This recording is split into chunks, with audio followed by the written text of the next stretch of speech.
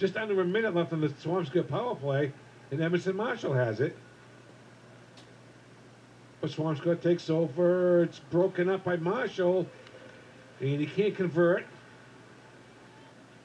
Schuster gets it over the blue line, but Swampscott has possession.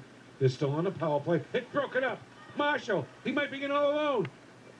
Shot score! What a move by Emerson Marshall to give the Fishermen a 1 0 lead. A short-handed goal.